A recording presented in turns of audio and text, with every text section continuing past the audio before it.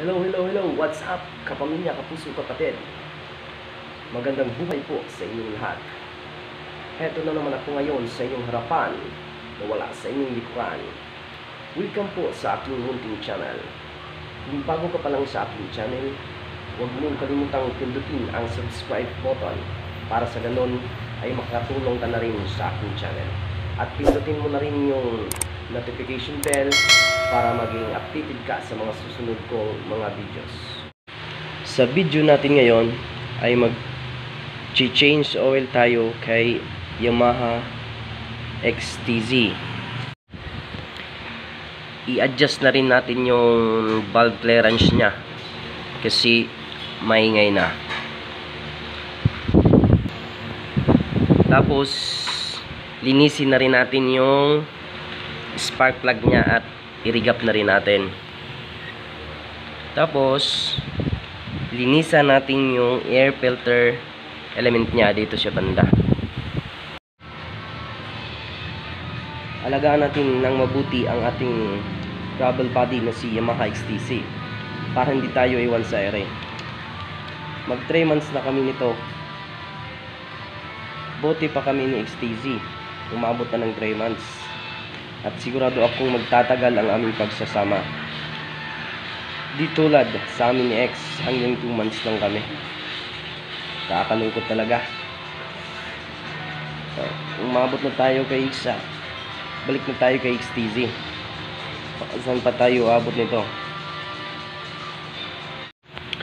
Ito ang kanyang ah, drain plug. Buksan natin to para ma-drain natin yung oil niya. Ito, nabuksan ko na at na-drain ko na.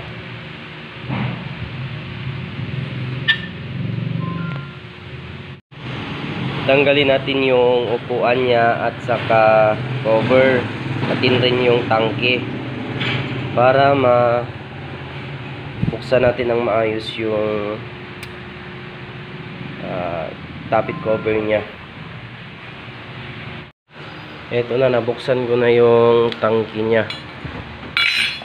Tanggalin lang natin tong tapit cover niya, dalawang tapit cover niya para maigpitan natin yung valve niya. Ito na, nabuksan ko na yung tapit cover niya. Sunod ay buksan natin to para ma-ikot natin yung flywheel para maitlagay natin sa timing niya. Paalala lang mga kapuso, kapamilya, kapatid, na kung mag-adjust kayo ng valve, ay kailangan dapat naka-top dead center siya. Dapat naka-close yung intake at saka exhaust valve niya para hindi siya ma tukod. Okay, luwa- luwagan ko na yung tapit niya para masukat natin. Ito ang paghigpit at sa pagluwag natin. 8 mm na box wrench, uh, tapit wrench at saka feller gauge. Ito tapos ko na na higpitan yung valve niya at uh, natakpan ko na rin yung tapit cover niya. Dito na tayo sa spark plug. Linisan natin yung spark plug tapos pick up na rin natin. Okay, buksan ko na.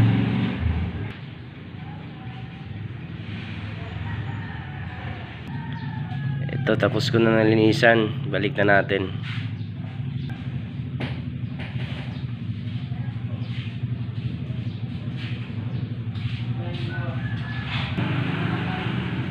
Sunod ay ang air filter element niya. Linisan natin. Ito na yung air filter element niya. Linisan lang natin. Tanggalin muna natin.